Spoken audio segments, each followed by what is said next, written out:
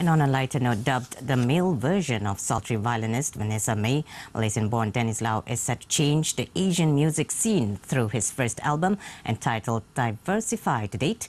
Diversify is the first Sony Music Malaysia instrumental album. Bernama TV spoke to Lau, an electric violinist and songwriter who recently launched the album he had been working on since 2007.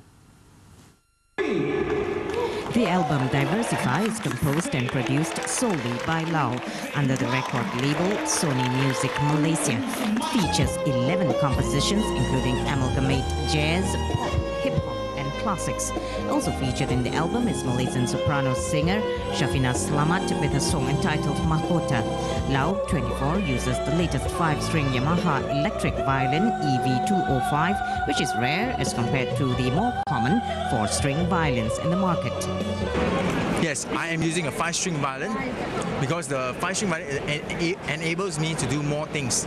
Uh, play as a viola as well and to create different sound. I also use the effect effect box there, which show the guitar effect and the wah wah effect and stuff like that. So something like that, the Asian market has not seen it, so I want to showcase it and portray it to, to them. What can we expect from Diversify? diversify i do not i i have my expectation in reaching out the music to people but of course depending on the on the acceptance it has to be i, hope the people would open their ears to listen to this album Lau's greatest influence comes from the late Michael Jackson, Stevie Wonder, Brian Leslie, Wang Lee Hom, and John Mayer. He has shared the stage and worked with artists like Shafina Selamat, Jimmy Sachs, David Tao, Louis Bergasem, James Boyle, Francisca Peters, Noryn Aziz, and Ning Baizura. Lau, who has a